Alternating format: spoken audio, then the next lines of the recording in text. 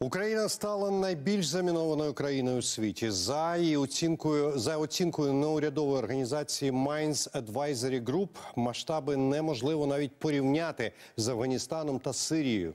Протитанкові та протипіхотні міни, міни пастки, міни розтяжки, касетні боєприпаси, велика кількість снарядів, що не розірвалися, і це не повний перелік, чим нашпигувала українську землю російська армія. Забруднена нині майже третина території нашої країни. Це понад 174 тисячі квадратних кілометрів. Повідомляють у службі з надзвичайних ситуацій. Вибухотехніки знешкодили вже понад 300 тисяч боєприпасів. На повне розмінування території підуть десятиліття. І зараз до нашого ефіру долучається Тимур Пістрюга, голова Асоціації саперів України. Пане Тимуре, вітаю вас. Вітаю. Отже, Україна найбільш замінована країна світу. Sky News пише про 40% території країни, вкритих вибухівкою. Наскільки масштабною є робота з розмінування? Скільки людей потрібно для цього залучити, аби збільшити ефективність? Ну я завжди наголошував, що е, ситуація в Україні була складна ще навіть до 24 лютого, до повномасштабного вторгнення. Е, Україна була в топ п'ятірки країн світу з мінною проблематикою. Навіть Така от е, була жахлива статистика тоді, що ми були на четвертому місці за кількістю жертв від мін та вибухонебезпечних предметів. Тоді це було після Афганістану, Малі та Ємену. Е, зараз ми всі чудово розуміємо. На жаль, що ситуація ускладнилась ну в рази так 20, а то й більше. Ось е, якщо говорити про масштаби, ну тут треба ще коректно називати терміни, що ми не говоримо зараз прямо про забруднені території, а про потенційно небезпечні території, які потребують втручання з боку гуманітарного розмінування. Виявити вже степінь забруднення можна тільки після того, як провести перший етап гуманітарного розмінування, який називається нетехнічне обстеження території. Але е, це ну, враховуючи ці масштаби, це теж знадобиться тривалий час для цього. Більш того, продовжуються активні бойові дії. Е, наша територія продовжує активно обстрілюватися, тому тому це все звичайно складнює цей процес.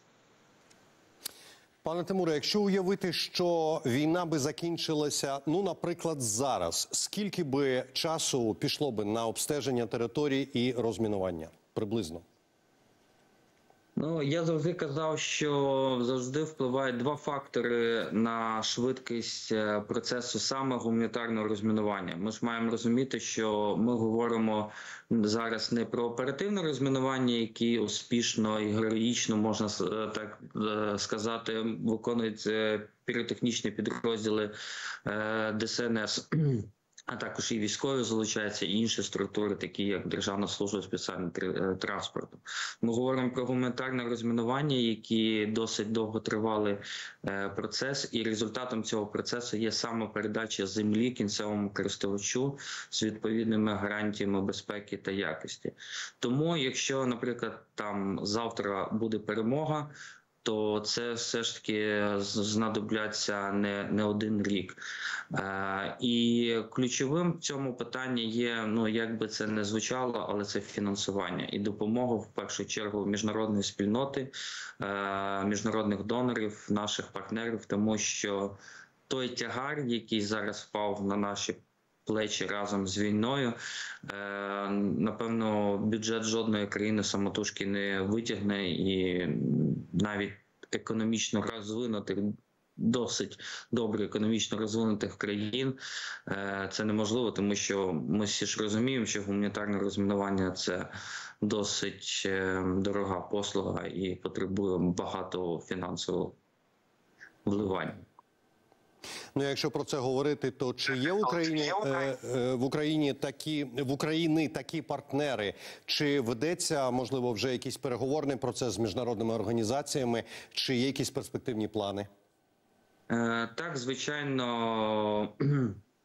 Після 24 лютого 2022 року багато країн повернулись в тому числі в бік України з точки зору протимінної діяльності вони потрохи, можливо, не так швидко, як нам би хотілося, але вони потрохи допомагають і в цьому питанні. Це і матеріально-технічне забезпечення наших державних е, підрозділів, але і знову ж таки кошти виділяються на е, саме на очищення. Тобто на е, звільнення наших земель від вибухонебезпечних предметів, але знову ж таки ці масштаби потребують звичайно більших потуг, більш, е, більш зусиль і активізації. А якщо говорити про досвід розмінувальників, саперів а, саме в Україні, з якою вибухівкою доводиться найчастіше стикатися? Тому що, ну, наприклад, от е, у мене інформація, що Mines Advisory Group е, пише про протитон, е, протитанкові міни, протипіхотні міни пастки, розтяжки, касетні боєприпаси і велику кількість снарядів, що не розірвалися. Що з цього найнебезпечніше? Дивіться, якщо говорити, чим зіткаються наші сапери, особливо ті, що на лінії фронту виконують бойові завдання, і е, піротехнічні підрозділи, які виконують оперативні завдання, е, там ми можемо знайти все. Якщо говорити про напевно найскладніші на даний момент участки, це Харківська область та Херсонська. Е, Там, починаючи від е, протипіхотних мін, ми всі знаємо, що е, Росія не є підписантом Отавської конвенції, і дуже активно використовує. Проти нашого населення в першу чергу протипіхотні міни, там ліпістки і таке інше. Все це робиться в хаотичному порядку, ніяких там формулярів, так далі, тому подібне. І все це звичайно е- важко, в тому числі з точки зору розмінування. Касетні боєприпаси, якщо ми говоримо про боєприпаси, що е, не вибухнули, але ще е, не треба забувати про так звані е, терористичні методи е, за допомогою саморобних вибухових пристроїв та мінних пасток, які ми ще тут зустрічали і зустрічаємо, на жаль, на Київщині, там Чернігівщині, Сумщині. А зараз цього дуже багато і. Е, на е, Херсонщині, Харківщині.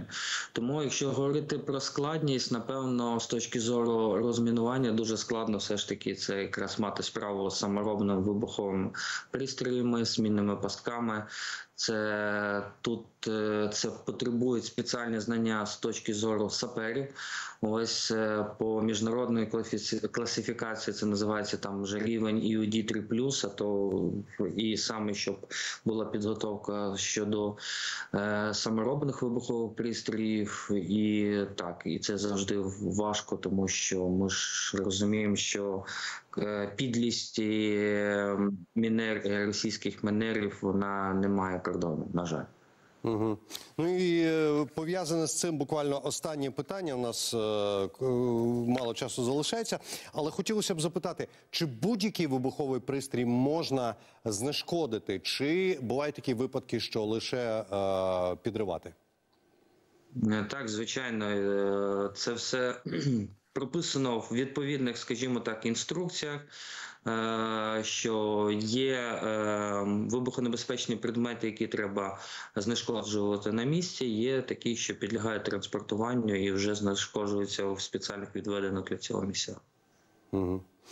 Пане Тимуре, я вам дуже дякую за цю розмову, коротку, але змістовну а, і сподіваюся, корисну. І звісно, за вашу небезпечну, але таку важливу роботу. Це Тимур Пістрюга, голова Асоціації саперів України, був у нас на зв'язку. Дякую вам.